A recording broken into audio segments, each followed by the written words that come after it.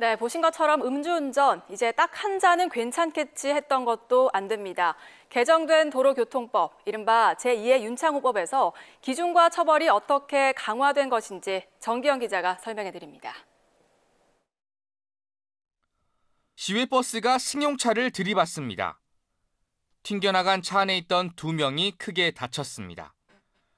만취 상태 버스 운전기사의 음주운전 때문입니다. 혈중 알코올 농도 0.141%에서 운전대를 잡았다 차 3대를 들이받은 음주운전도 있었습니다.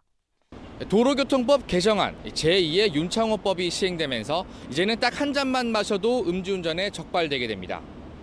강화된 면허 정지 기준 0.03%는 보통의 성인이 소주나 맥주 한 잔을 마신 수치입니다.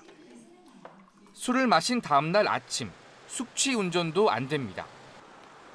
혈중 알코올 농도는 보통 1시간마다 0.015%씩 내려갑니다.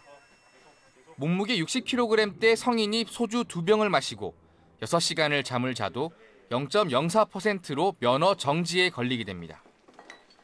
처벌도 강화됩니다.